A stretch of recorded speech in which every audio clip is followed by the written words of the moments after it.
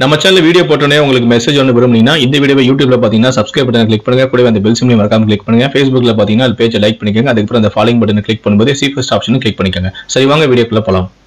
பெங்களூருவை சேர்ந்தவர் தான் ஹிடேஷா சந்திராணி. கடந்த சில தினங்களுக்கு முன்பு தன்னுடைய இன்ஸ்டாகிராம் பக்கத்தில் வெளியிட்ட வீடியோ பெரிய அளவில் வைரலானது தனது வீட்டிற்கு டெலிவரி கொடுக்க வந்த சொமோட்டோ ஊழியர் மூலம் தான் தாக்கப்பட்டதாக இவர் வீடியோ ஒன்றையும் வெளியிட்டிருந்தார். தன்னுடைய வீட்டிற்கு லேட்டாக உணவு டெலிவரி செய்ய வந்தவர் தன்னுடைய மூக்கில் குத்தியதாக வீடியோவை அஹ், ஹிண்டேஷா சந்திராணி வெளியிட்டிருந்தார். இந்த சம்பவம் இணையதளத்தில் பெரிய சர்ச்சையானது.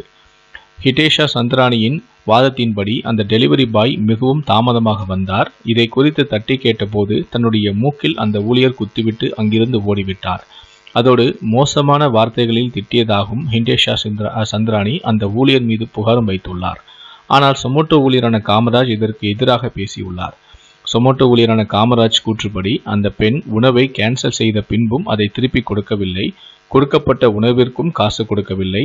அதோடு தன்னை மோசமாக திட்டி செருப்பை தன் மீது வீசினார். இதில் தற்காப்புக்காக செய்யப்பட்ட போ தற்காப்புக்காக என் கையை வைத்து தடுத்த போதுதான் அந்த பெண்ணின் முகத்தில் பட்டுவிட்டதாகவும் காமராஜ் கூறியுள்ளார்.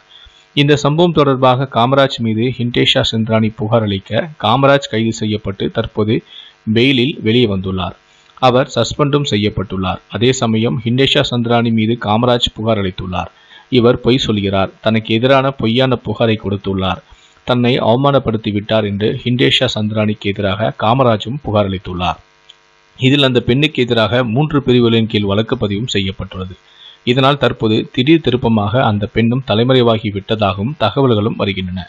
பெங்களூருவில் வசிக்கும் அந்த பெண் மகாராஷ்டிராவில் உறவினர் வீட்டில் பதுங்கியிருப்பதாகவும் கூறப்படுகிறது.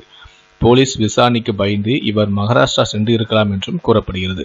இது குறித்து பேசிய போலீஸ் தரப்போ அந்த பெண் மகாராஷ்டிராவில் இருப்பதாக தகவல் வந்துள்ளது. அந்த பெண் பாதுகாப்பு கருதி அங்கே சென்று இருக்கலாம். ஆனால் அவர் எங்கு எங்கள் விசாரணைக்கு ஒத்துழைக்க வேண்டும். இல்லை என்றால் அவரை நாங்கள் கைது செய்து விசாரிக்க வேண்டி இருக்கும் என்றும் இன்றே அவர் எங்களிடம் வாக்குமூலம் கொடுக்க வேண்டும் என்றும் போலீசார் கூறியுள்ளனர்.